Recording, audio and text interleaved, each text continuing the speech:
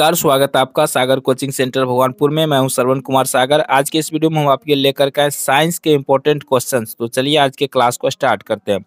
पहला प्रश्न है, वायुमंडलीय दाब का मापन किया जाता है? ऑप्शन में वोल्ट मीटर से बैरोमीटर से गेल्वेनोमीटर से या थर्मामीटर से।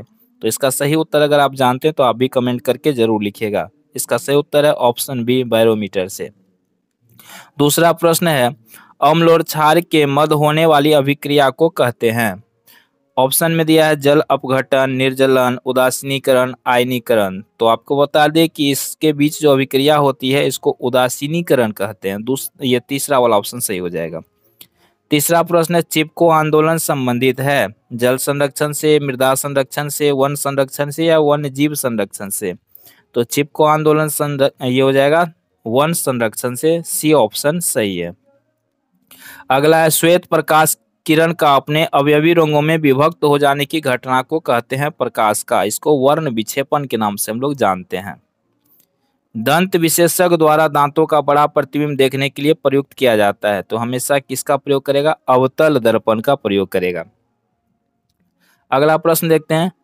डॉक्टरी थर्मामीटर का तापीय परास है। क्या होता है? पैंतीस डिग्री सेल्सियस से बयालीस डिग्री सेल्सियस के बीच होता है। स्वस्थ मानव नेत्र के लिए स्पष्ट दृष्टि की न्यूनतम दूरी व अधिकतम दूरी होती है। तो न्यूनतम दूरी कितना होता है? पच्चीस सेंटीमीटर और अधिकतम होता है अनंत तक। अगला प्रश्न देखते हैं। क्वेश्चन नंबर आठ पे चलिए। प्रश्न है, सरल सूक्ष्मदर्शी में बना प्रतिबिंब होता है। तो सरल सूक्ष्मदर्शी में बना प्रतिबिंब क्या होता है? आभासी तथा बड़ा होता है। निम्न में चुंबकीय पदार्थ नहीं है। कौन सा पूछ रहा है? नहीं वाला पूछ रहा है। तो सही उत्तर क्या हो जाएगा? जस्ता। ये चुंबकीय पदार्थ नहीं है।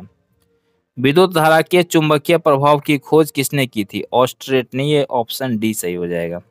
सूर्य अपनी विकिरण ऊर्जा कहाँ से प्राप्त करता है? तो सूर्य में कौन सा संलयन होता है? नाभिकीय संलयन होता है तो ऑप्शन डी सही होगा।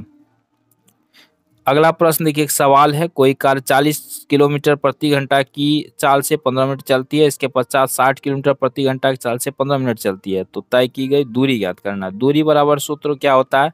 चाल गुना चाल गुना समय, ठीक है? तो यहाँ पर देखिए, चाल है चालीस और समय हो गया पंद्रह। चूँकि इधर घंटा में है तो इधर भी हमें घंटा में बदलना होगा तो पंद्रह बट्टा साइड करेंगे तो ये हो गया पंद्रह।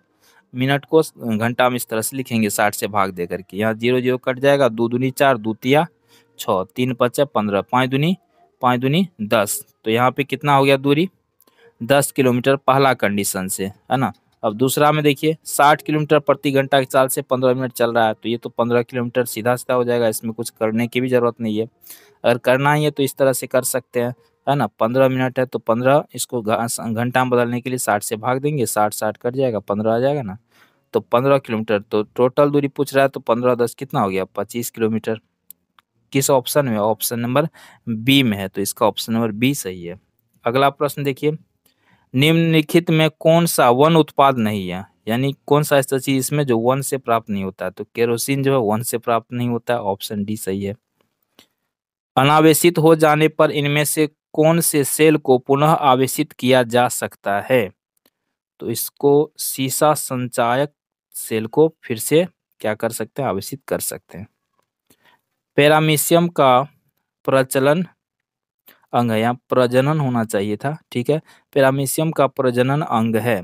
कौन सा होगा? सीलिया। कोशिकीय क्रियाओं का नियंत्रण करने वाला अंगक है। इसको क्या बोलते हैं? केंद्रक बोलते हैं, जो कोशिकीय क्रियाओं का नियंत्रण करता है।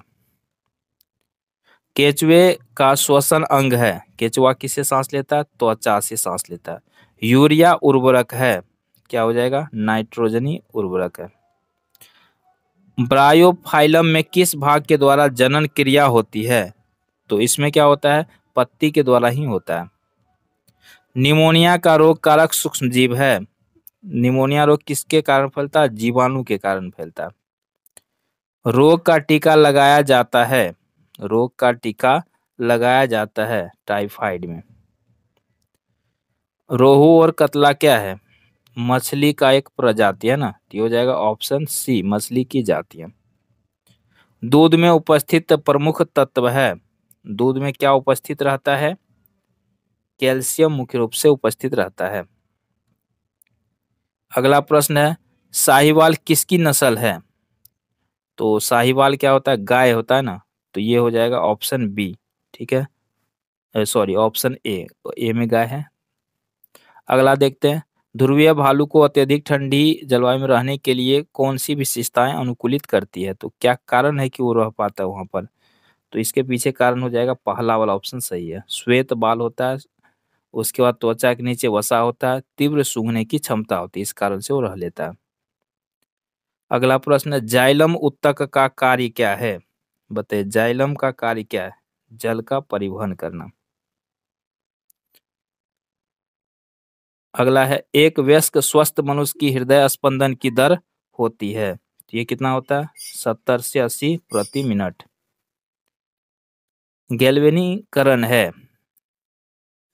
लोहे पर जस्ते की परत चढ़ाना। जंग लगने पर लोहा परिवर्तित होता है। आयरन ऑक्साइड में। एलपीजी में पाई जाने वाली मुख्य गैस क्या है? तो इसका नाम है ब्यूटेन। अगला प्रश्न देखते हैं। मार्स गैस कहते हैं। मार्स गैस किसको बोलते हैं? मिथेन गैस को मार्स गैस बोलते हैं। कैल्शियम की संयोजकता है। कैल्शियम की संयोजकता क्या है? Plus two. भौतिक परिवर्तन का उदाहरण नहीं है। क्या पूछ रहा है? नहीं है। जंग लगना क्या है? रासायनिक परिवर्तन है तो ये भौतिक परिवर्तन नहीं होगा। तो ऑप्शन डी सही है। फुलेरिन में मूलतः कार्बन परमाणु की संख्या कितनी होती है? ये होता है साठ। और आज का अंतिम प्रश्न है, बैंकिंग सोडा की प्रकृति है। क्षारीय तो आज के वीडियो में इतना ही। आज आपने साइंस का पेपर देखा। अगले दिन हम लोग सोशल साइंस का पेपर देखेंगे। तो चैनल पर तो ज़रूर सब्सक्राइब करें, वीडियो को लाइक करें, अपने दोस्तों के पास शेयर करें। धन्यवाद।